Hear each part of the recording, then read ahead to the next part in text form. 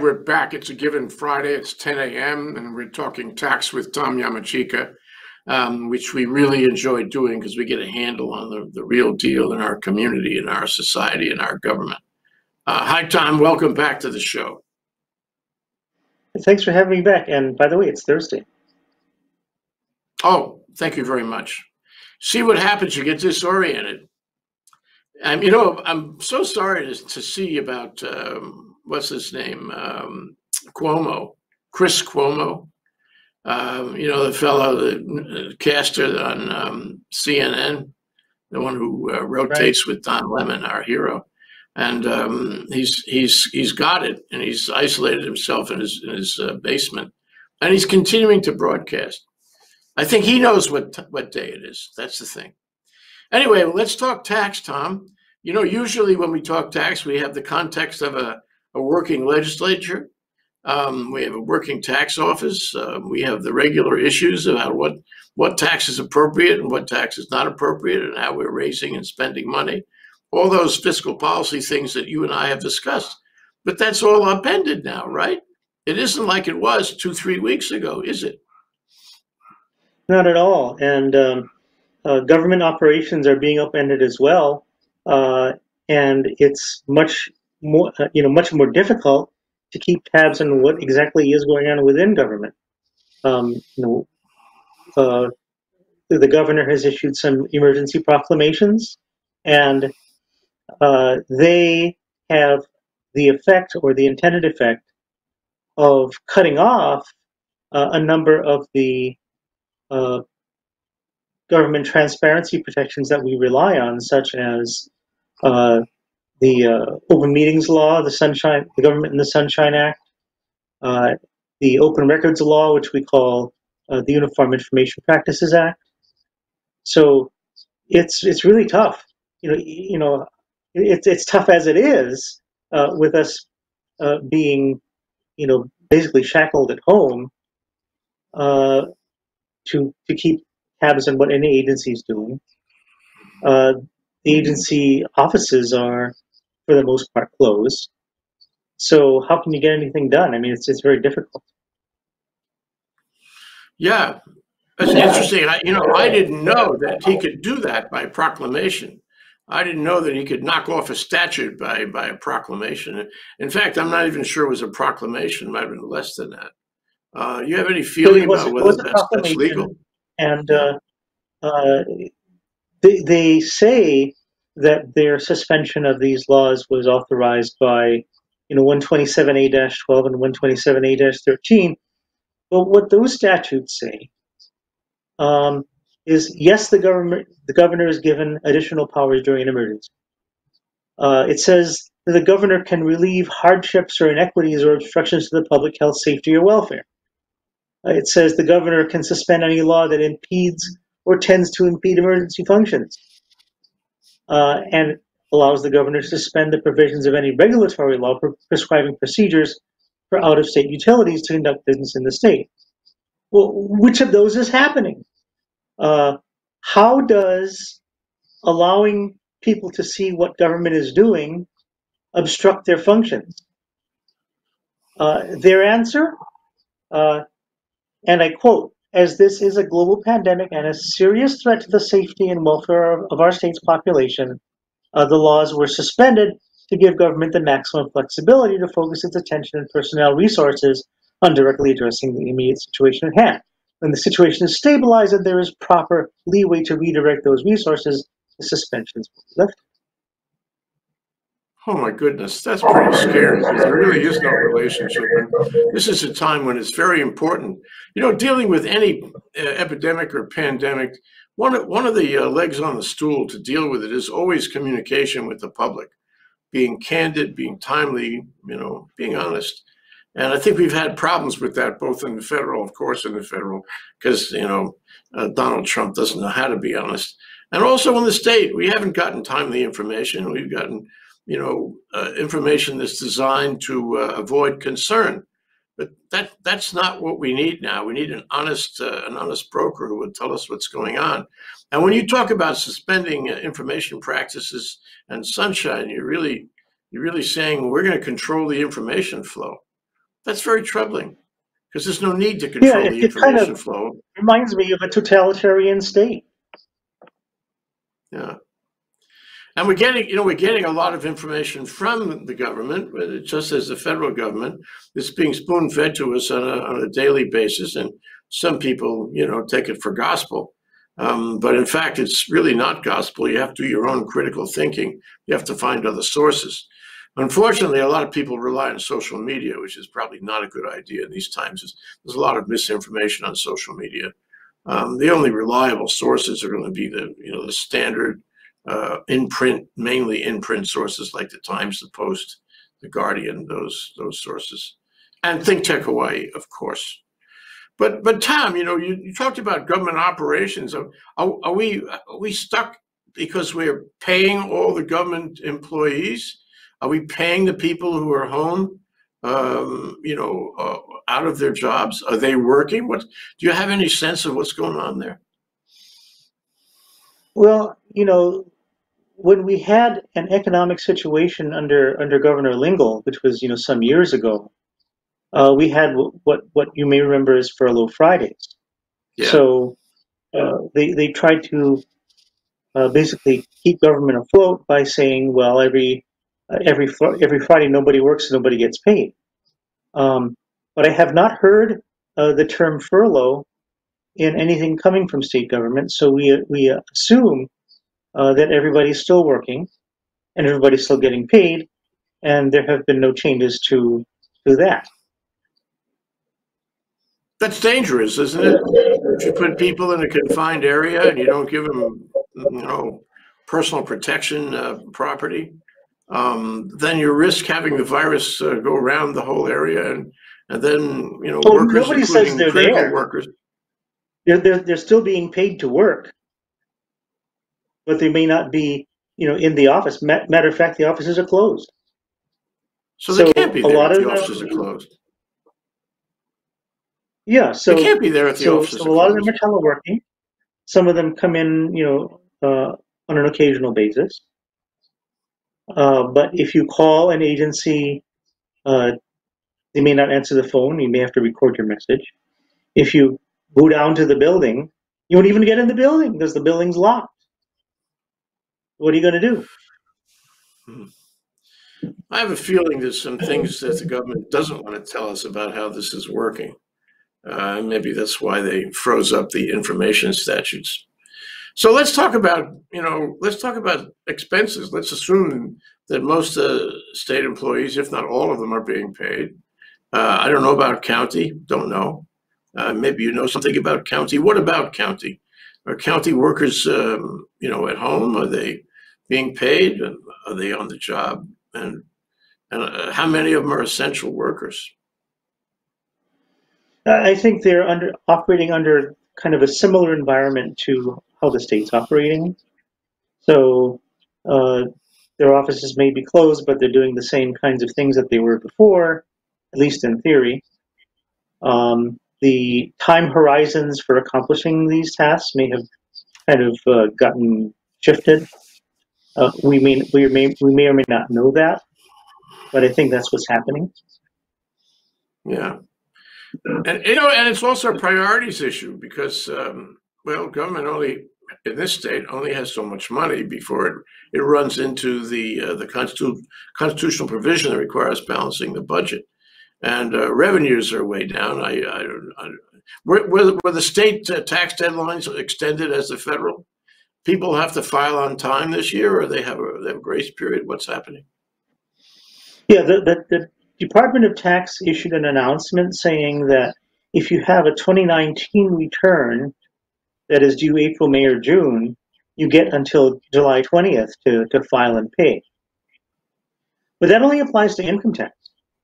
It doesn't apply to GE, to Transient Com, or any other tax type. It doesn't apply to withholding. It doesn't apply to, to income tax for any other year.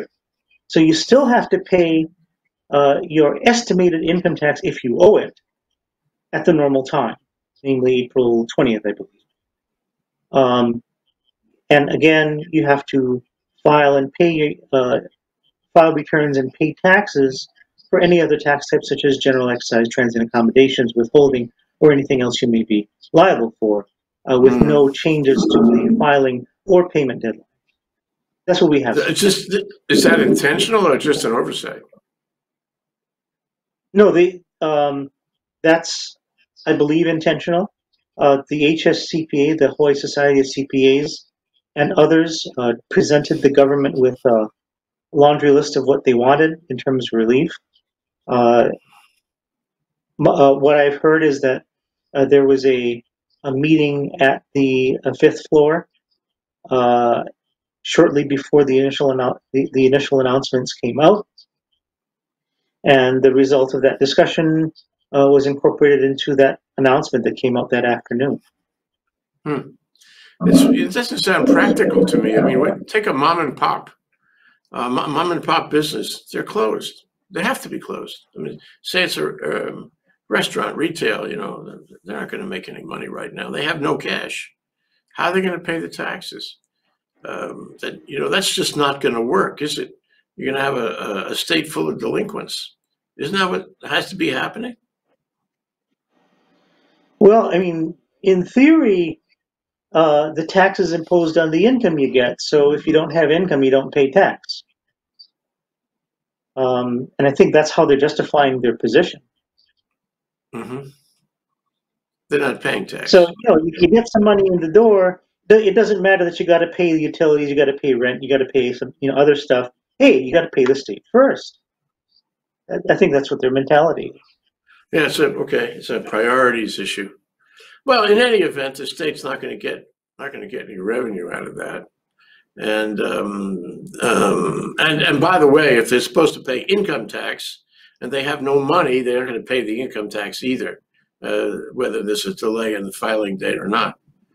But, so now the state is not, re, you know, I, I don't know if there are numbers out on this, but probably not. The state's not receiving any any significant tax returns, or tax payments right now. So there's nothing coming in. So But, but virtually there's also nothing, nothing coming. going on. I think that's the beauty of of the position they took, and that is, you know, with the final return, a lot of them are for refunds. A lot of individuals, which is where uh, the uh, state uh, gets the returns this time of year, they, they get individual returns.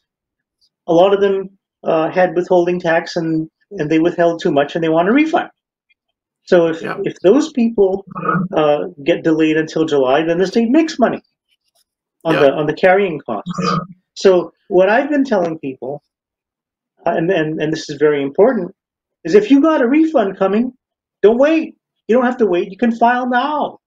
Well, what a great idea. Sure. You don't have to take the delay. You can you can act right now and and demand your refund. Think they're going to get a refund? Well, I'm not sure. There's also precedent for that. Uh, again, during the uh, the Lingle years, the uh, I, I remember the, the department when it was under Kurt Kawafuchi. Uh, they they requested for I think uh, a delay in payment of all refunds until like July, um, and and and that's what they did. I don't know if the same thing is going to happen this time around, but um, that's again not without precedent. That's happened before. Yeah, but this is different. This is, you know, plenary. So here's the legislature went into recess.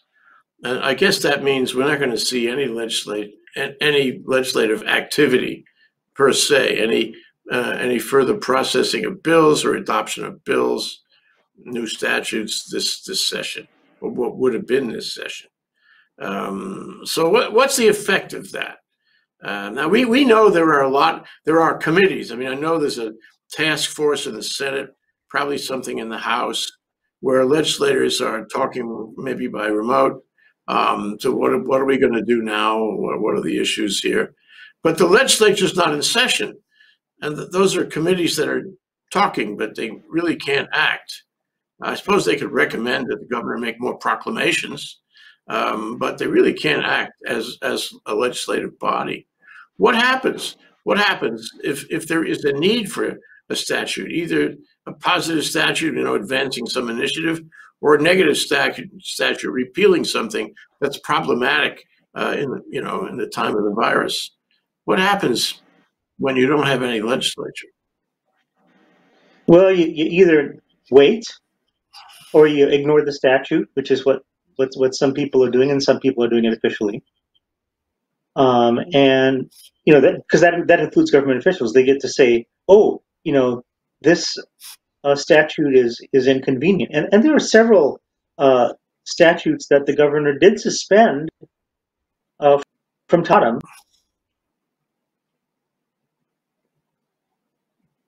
Yeah, well, I, you know, okay, you can. I suppose you can do that under the, his emergency powers. Emergency powers, yes. Hmm. Okay, let's let's uh, let's talk a little bit about the bailout, the federal bailout, because uh, you know the state still has people who need federal bailout money, a lot of them, and the state has has a a number of um, you know benefits, uh, social safety net benefits. It has to fund somehow, and I wonder, you know, first question is uh, for the lack of any significant tax receipts, and maybe the obligation to pay some refunds on the income tax side. Um, what, what happens to the benefits for the social safety net? What happens to the, you know, the state obligation to take care of its people? Uh, I'm not even getting into enforce the laws and, you know, police, fire, and what have you on the county level. But what happens to the social safety net within the state uh, when the state is, you know, not not not receiving any tax receipts? Well, there um, typically what happens in a situation like this is uh, that the governor does have power to restrict any and all expenses, uh, and it typically just does that irrespective of what the budget says. You know, the governor has the authority to to um, impose like uh, across the board caps or across the board restrictions on spending even budgeted monies. So that uh, may probably come to pass. Uh, we've seen that before. We've seen across the board restrictions uh, in several prior years, including with this governor and, and some previous ones. Mm. so that's um, you know one handle that's available to pull uh, in economic downturns uh, like what we have now. Uh, we do have some money socked away for emergencies. We call it the rainy day fund. Um, that can be tapped into to, uh, you know, fund programs that are considered priority, and I think that's going to happen. Um, but that that won't last forever. But hopefully, it'll it'll last us through, you know, the few months that we have to uh, you know, endure this pain um, until this, you know, coronavirus thing starts either uh, going downwards, either by itself or because we found some kind of medicines or cures uh, to fight the darn thing. Yeah, uh, well, uh, I want to get into the the duration issue in a minute, um, but but I want to ask you. I mean, what you you mentioned that he might cut expenses. Well, is one of those expenses the payroll for these various, in the state employs a, a ton of people, thousands of people. And some of them aren't, aren't really being productive right now, but as you suggest, many of them are being paid anyway. Would, would you have the, the power to terminate that payroll or cut it back? Would you have the power to stop other functions which are really less important than, than feeding people and the like? Yeah, that, that power certainly exists. We saw it in Furlough Fridays. We, we can see it again. Yeah, okay. Well, let's see what happens. I mean, I, I think the press has to be there at these conferences uh, where he, you know, gives us the daily the daily uh, feed of news. Let's let's turn to the federal. Okay, so clearly the state and its benefits alone uh, and its funds alone are not going to be able to handle all these people out, out of work. Um, the uh, unemployment compensation uh, benefits are nowhere near what what's going to be necessary. So we have a you know we have a what do you call it a household crisis. Uh, we're already in it. We're you know uh, April first has come and gone. the rent has been due, and and the landlords, uh, you know, are not prevented from collecting. I don't know about the, I don't know how the courts are operating on that, but uh, the, the, landlords uh, have not been uh, legally barred from demanding the rent. And you know, the same thing with the banks on mortgages and loans. The first of the month, that's when it's due, usually. And so people are in crisis already, and the federal government is supposed to be distributing 2.2 billion dollars around the country. I guess a lot of that goes to you know the, the corporate world, but a lot of it also goes to you know social safety net types of programs. And I wonder how that works. How do you coordinate that, if at all, with the, sto- the state social safety net? Um, is that money going to come through the state? Um, how is it going to be distributed? How does it um, how does it how does it get coordinated with state benefits? Uh, can you can you give me some information on that?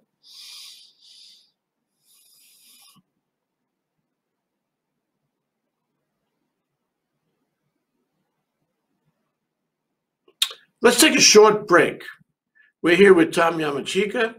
We're talking about tax, talking tax with Tom.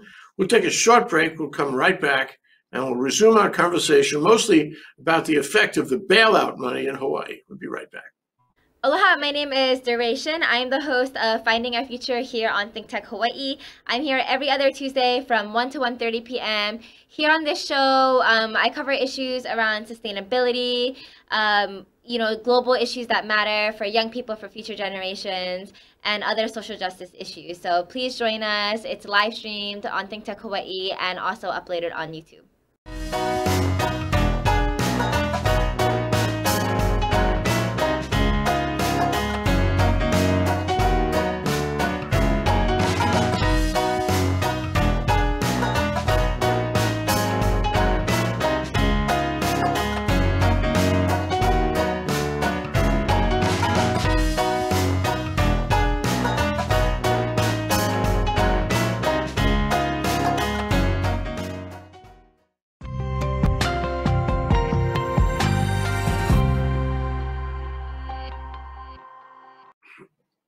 We're back with Tom Yamachika.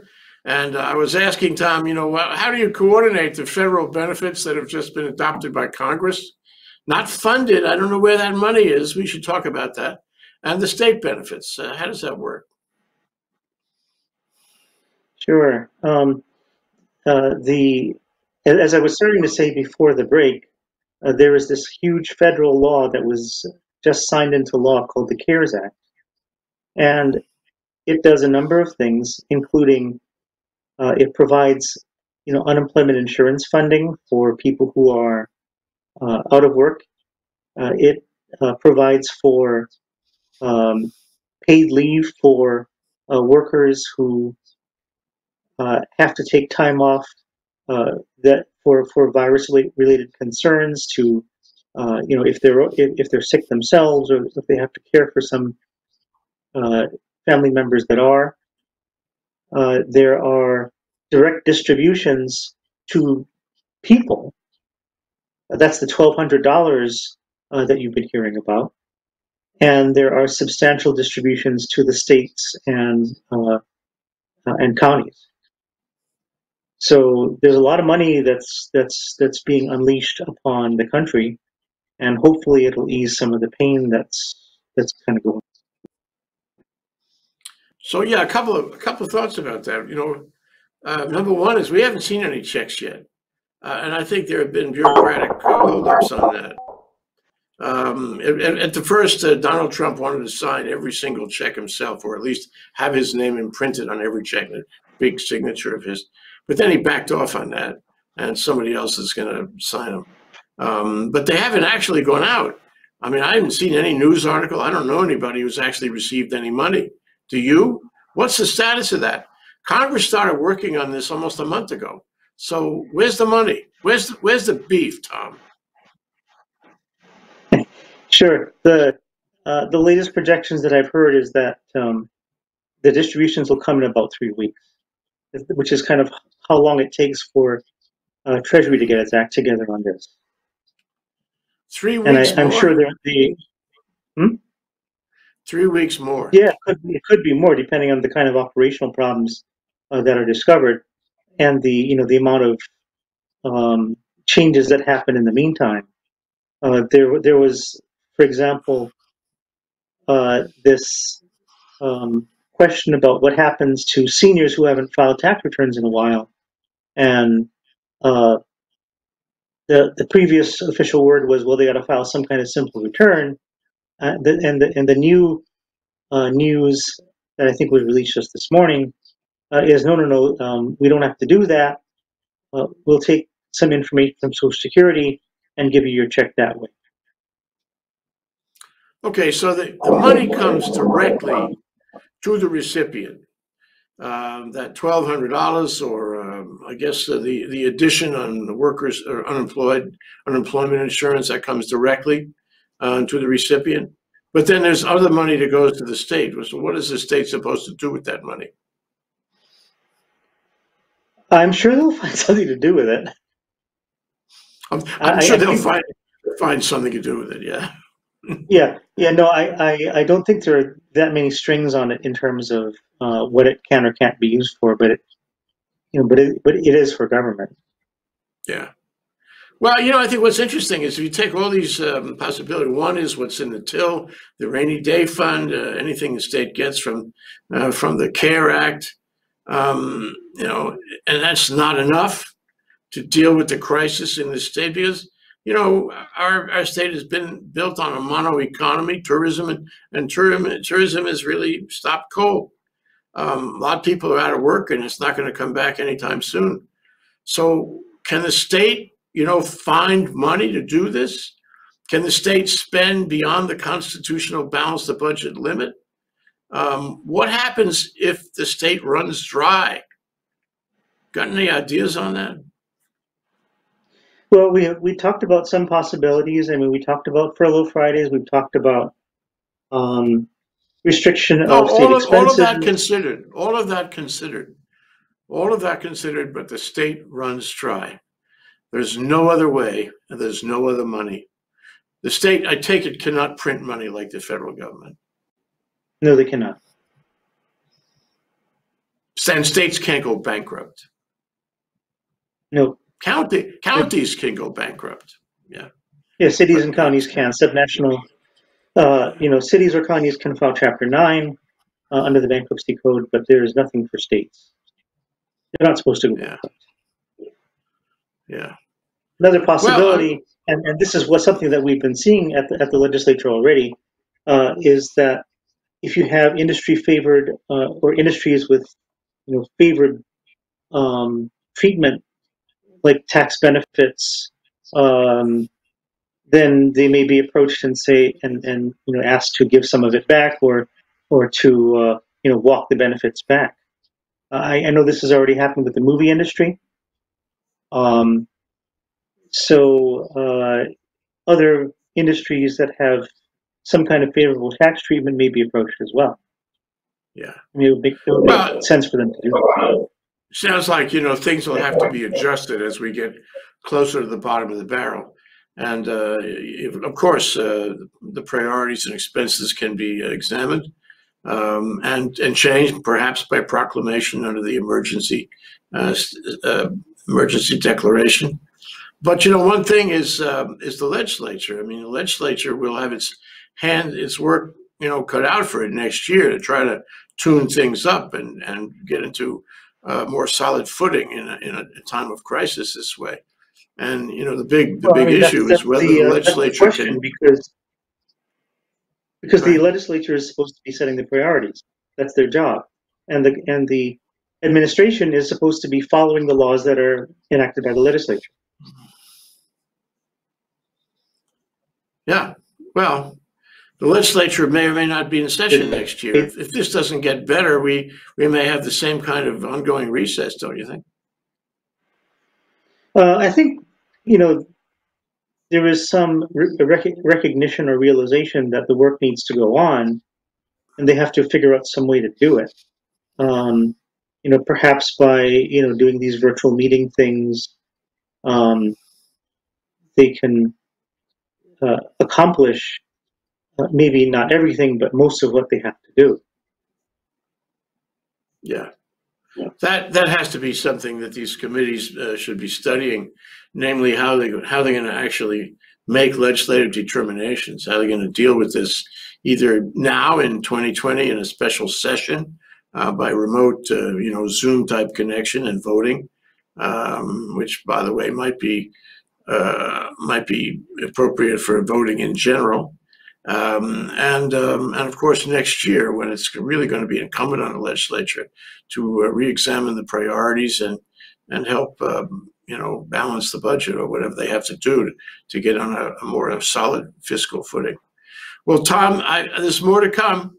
Uh, we're we're in a crisis, and that crisis includes a fiscal crisis, and um, we, we need to talk to you on a regular basis.